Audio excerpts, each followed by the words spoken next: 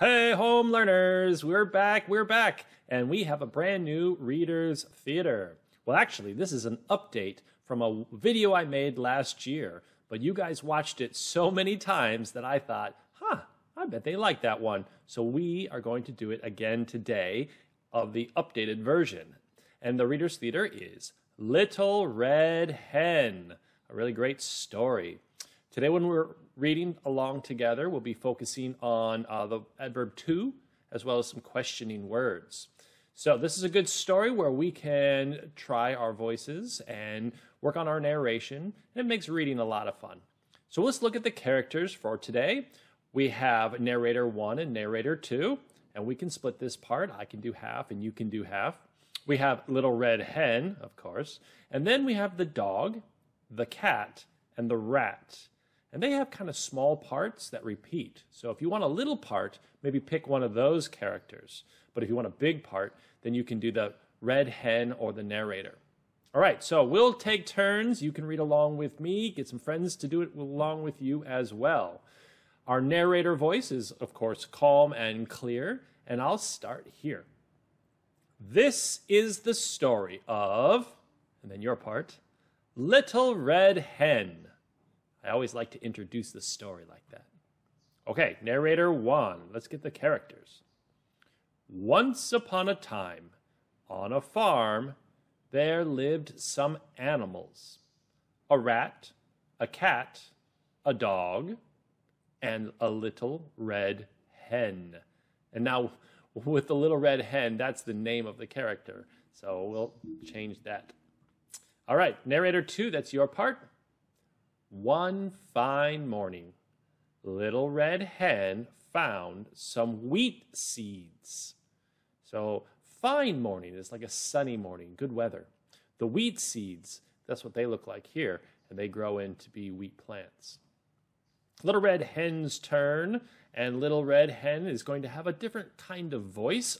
Uh, make sure when you're doing your voices, though, that I can still hear your words clearly. So it might be something like, Will you help me plant this wheat?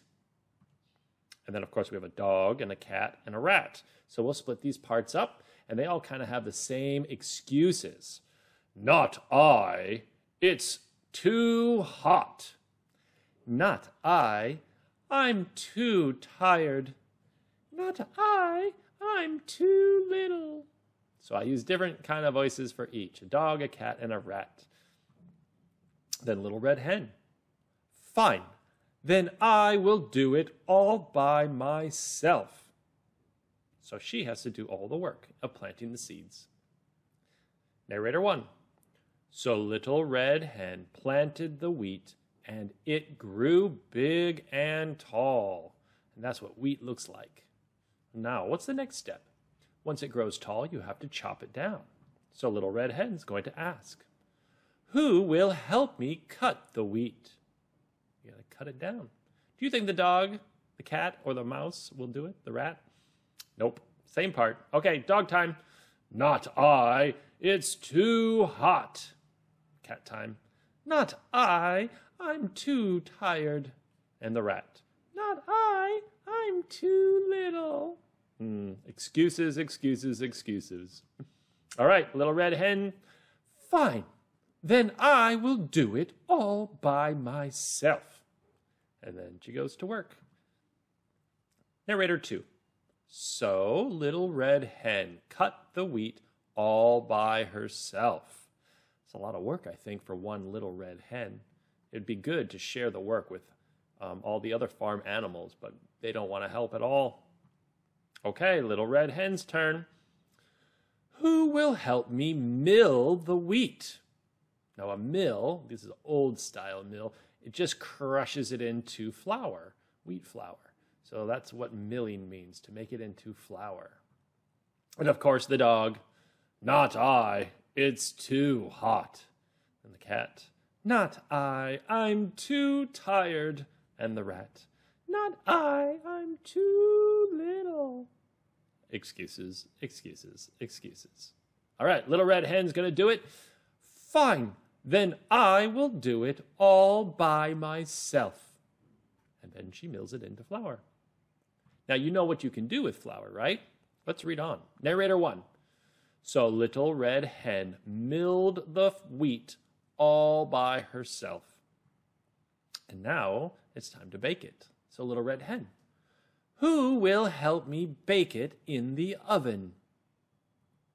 And of course, you know what Dog's going to say? Not I, it's too hot. And the cat, Not I, I'm too tired.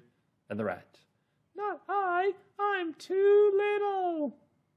All right, little red hen, she's going to do it all by herself. Fine, then I will do it all by myself. And there's the bread in the oven. Ooh, looking good. Narrator two. And that is exactly what she did. She had made tasty bread. Okay, now look, cat and dog and the rat come to say, Ooh, that smells so good. Let's see what Little Red Hen says. Now that I have done all the work by myself, who will help me eat it? This is where you get to decide. What happens next? It can be any ending you want to the story.